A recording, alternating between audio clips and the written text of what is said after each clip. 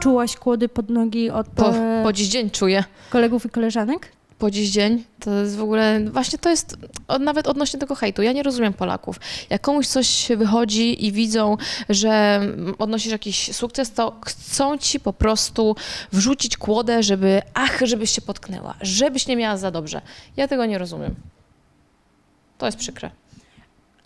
A jak teraz po premierze e, odniosłeś taki wielki sukces, czy napisali do ciebie byli, może nie byli, pracownicy właśnie Super Expressu? Pogratulowali ci? Tak, no ja jestem z nimi cały czas w kontakcie. Adrian, Adrian który pracuje w Super Expressie, jest moim przyjacielem. Przyjaźnimy się prawie 10 lat. Eee, I z telewizji nie pogratulowali mi. z gazet, owszem, wszyscy. No, A wspomnieli o twoim filmie Pokusa w telewizji? Nie. Nie?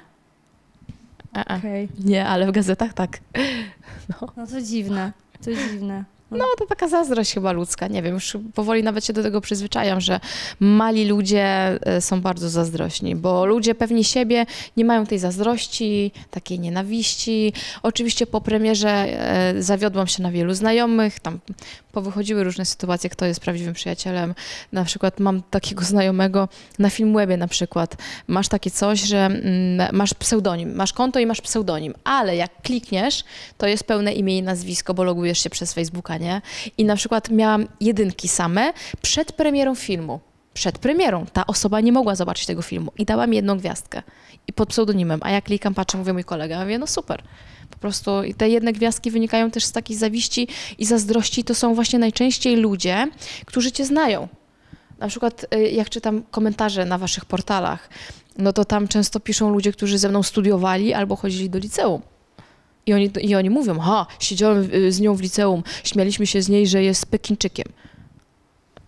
Że mam taki mały nos, no. Mój przyjaciel Adrian mówi, pokaż wszystkim zdjęcia z dzieciństwa, krok po kroku, żeby wiedzieli, że to jest twój. Ja wiem, Adrian mówię, kto mnie zna, ten wie, że nie, nie majstrowałam przy nosie. No więc to jest przykre, że to są zazwyczaj ludzie, którzy, którzy nas znają. Smutne. Em, tak, e, jak odnosi się sukces, to, się, to trochę tych znajomych ubywa. Ubywa, no. Ubywa. Właśnie ja widzę, jest takie powiedzenie, że przyjaciół poznaje się w biedzie. Nie. Przyjaciół, przyjaciół poznaje się w sukcesie, bo w biedzie każdy się cieszy z twojego nieszczęścia, wtedy każdy chce być blisko, wysłucha cię, a w domu się z ciebie śmieje. A jak odnosisz sukces, to mało kto go znosi z twoich znajomych.